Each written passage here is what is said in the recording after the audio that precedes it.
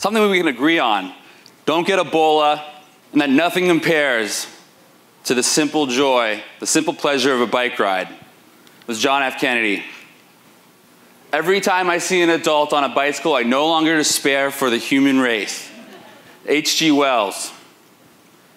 Damn, my bike won't fit into the trunk of this Uber. That was me.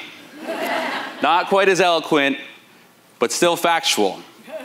Uh, you can look up bike quotes, you can find hundreds about the joy of riding a bike, but you won't find any about the joys of storing a bike.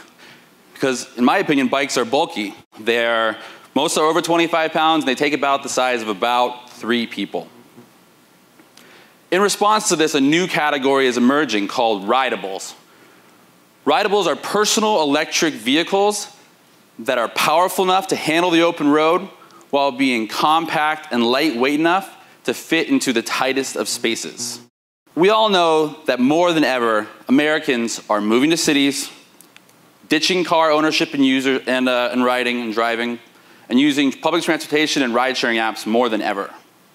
In fact, young people in America aged 16 to 34 are using public transportation 37% more now than they were in 1980. And Uber and Lyft are doing over 100,000 rides a day in five major US cities. But your bike and public transportation are simply not a natural fit. If you try to take your bike on the subway in New York during rush hour, you're allowed to do it, but good luck with this. You can take your bike on a bus in San Francisco where there are 50 seats, but only two bike racks. And like I mentioned, we can't fit a bike in a car unless we have an SUV or a bike rack. It's simply not a natural fit.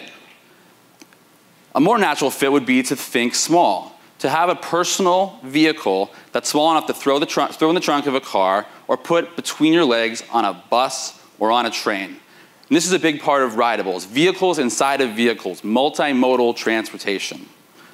Another big part of rideables is you can take it in with you. You don't have to lock it up, it's not going to get stolen. Dozens of companies that are producing folding electric bikes, collapsible motorized scooters, self-balancing motorized unicycles. It's all coming. It's all coming fast. Time you're sitting in traffic, looking where to lock your bike, or not taking the light rail because the station is simply too far from your house, remember to think small and think about how a rideable could change the way you get around this town.